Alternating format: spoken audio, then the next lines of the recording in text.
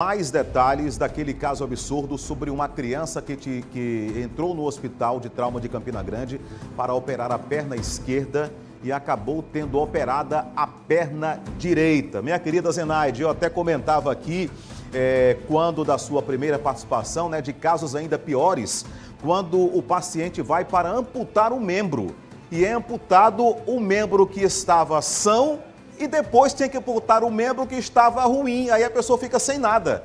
Ainda bem, Zenade, que o caso não foi esse, né? Pode falar agora, minha querida. Oi, Jomar, agora volta em definitivo para a gente trazer todos os detalhes. Toda a razão é essa que você disse agora, viu? Porque, inclusive, era um dos medos da mãe. Ela até pensou, na, cogitou nessa possibilidade. E se fosse a amputação? Ela disse isso para a gente hoje de manhã. Eu conversei com a mãe, a dona Fernanda, conversei também com o pai da criança. Um misto de angústia, de revolta, é o sentimento que eles estão tendo nesse momento, viu? Porque não é fácil para uma mãe descobrir que a filha, depois de passar por um procedimento cirúrgico, que começou por volta das 7 horas da noite de ontem, quando chega a menina, depois desse procedimento cirúrgico, chega no, na enfermaria, né? Aí a mãe levanta o lençol e vê exatamente essa situação, ou seja, a perna esquerda que era para estar, que inclusive estava sinalizada, com tala, com todos os acessórios que diziam é nesta perna. E infelizmente a outra que foi cirurgiada, foi ela que descobriu. E a gente vai, vai ouvir o que ela disse a partir de agora. Vamos conferir.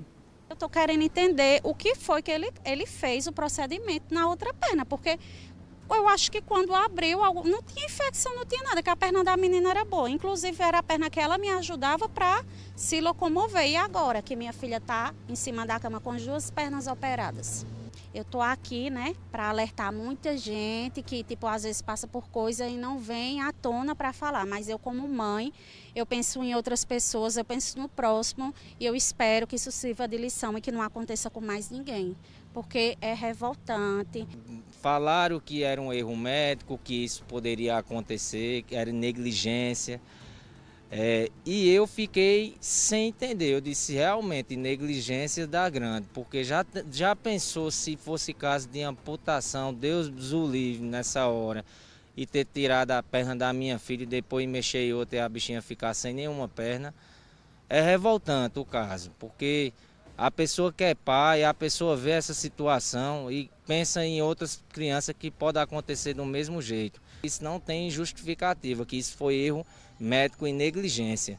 Então, portanto, eu estou providenciando, fiz boletim de ocorrência ontem, estou tentando também, vou procurar os direitos que tem que fazer e é isso. Eu espero que a justiça seja feita.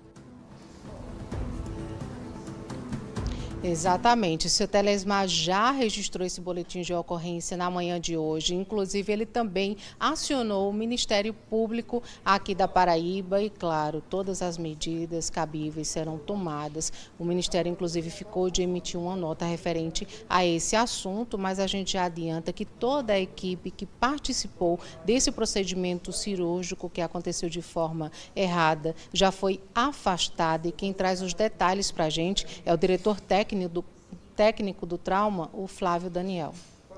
A criança e seus familiares foram totalmente assistidos e acolhidos. O hospital, de imediato, afastou toda a equipe envolvida e estamos apurando dentro da instituição, através do Núcleo de Segurança do Paciente e da Comissão de Ética Médica, é, vai ser apurado e, ao final, as medidas administrativas e cabíveis serão tomadas.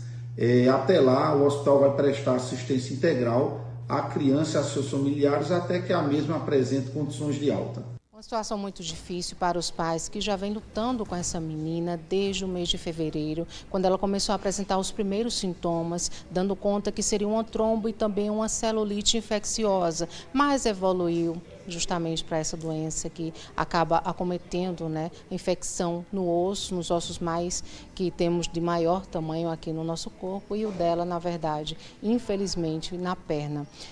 Jomar, agora todos os procedimentos serão apurados, o CRM também é, emitiu nota, inclusive já temos aí, daqui a pouquinho a gente vai trazer o que disse o Conselho Regional de Medicina. Agora volto com você. Ok, obrigado Zenade pelas informações aí direto de Campina Grande. Olha, o Conselho Regional de Medicina da Paraíba, o CRM, abriu uma sindicância para apurar o erro na condução cirúrgica ortopédica dessa na criança, né? Imperdoável. Temos um vídeo do presidente do CRM Paraíba, Bruno Leandro de Souza, falando sobre o caso. Vamos ver. O Conselho Regional de Medicina está acompanhando de perto esse caso, já determinei a abertura de uma sindicância. O hospital também já afastou a equipe clínica, eh, realizou a abertura de um processo administrativo e ético também dentro do hospital. E nós nos solidarizamos aqui com a família com a criança. Hoje já procurei saber como ela estava, está em enfermaria, respirando bem, sem dor, sendo bem tratada pela equipe clínica.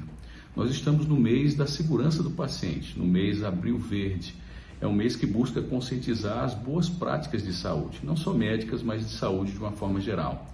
E uma das metas é a meta 4, a meta internacional 4, que fala justamente sobre cirurgia segura, para evitar, inclusive, esses erros de bilateralidade, ou seja, quando existe membros que têm dois, um direito e um esquerdo, a equipe justamente operar o lado correto, evitar qualquer tipo desse problema, fazendo um checklist por isso que nós chamamos a atenção não só para a apuração desse caso, mas também para a prevenção, para a educação constante da equipe de saúde, que o Conselho já faz esse trabalho, mas vai reforçar ainda mais para que essas metas, as seis metas internacionais, sendo elas uma cirurgia segura, sejam rigorosamente cumpridas. Olha, eu faço minhas aqui, né, os questionamentos da mãe dessa menina, né? O que foi que a equipe lá que estava no momento da intervenção cirúrgica encontrou na perna boa, na perna sã da criança. Né? Eles operaram o que, afinal de contas?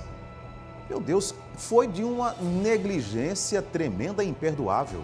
Olha, em casos semelhantes, né, que nós já trouxemos aqui na programação da TV Correio, né, tanto no Correio Manhã, como no Correio Verdade, como no Cidade Alerta, eu sempre comento o seguinte: olha, dois profissionais que não podem errar é o policial, no momento que ele está ali com aquela arma de fogo, né, decidindo por abater um suspeito que ameaça alguém, né, a vida de alguém ou a sua própria vida, o cabra não pode errar.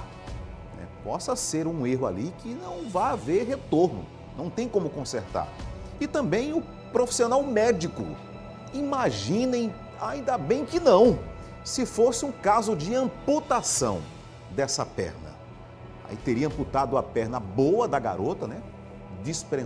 desprezado e agora teria que amputar a perna que estava realmente doente, se fosse o caso.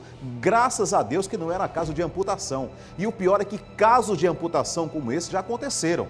E a pessoa ficou sem nenhum dos membros, nem o que estava ruim e nem o que estava bom. Pelo amor de Deus, tem que realmente ser apurado com muito critério isso aí e responsabilizar quem deva ser responsabilizado.